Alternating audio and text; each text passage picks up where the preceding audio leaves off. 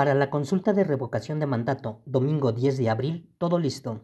Entrega de paquetes, lo cual incluye material electoral, urnas, boletas, tinta indeleble y todo lo relacionado a los funcionarios de la mesa directivas de casillas en los 20 distritos electorales, incluido el 02 distrito de la Sierra Norte de Veracruz. Lo anterior fue informado vía telefónica por Jesús Granada Bautista, consejero local electoral, mismo señaló todo va conforme al programa establecido por el INE. Y en materia de seguridad pública para la jornada del domingo 10 de abril, agregó. Pues mira, como en todo proceso electoral se llevan a, cabo actividades de coordinación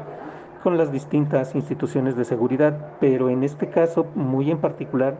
no creemos y no hemos visto, no tenemos algún indicio de que vaya a haber este algo fuera de lo común, de lo normal. Por el contrario, vemos que la gente está pues muy animada en participar, pero todo se ha llevado dentro de los de los este pues de los límites dentro de los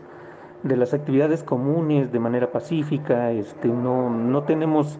algún foco rojo que nos vaya o nos dé alguna indicación de que va a haber problemas ese día o algún disturbio, no, no nada de eso, por el contrario todo se ha desarrollado de, este, de manera pacífica y de manera muy tranquila. En cuanto a las quejas por falta de casillas o su lejanía para emitir el voto ciudadano, el consejero electoral agregó que fue por falta de presupuesto y recurso requerido y no asignado al INE,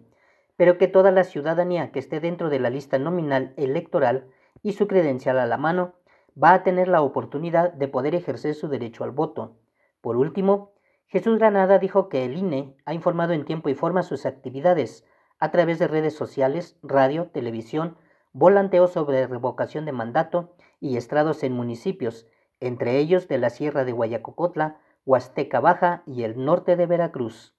Para más noticias desde la Sierra de Guayacocotla, Juan Vadillo.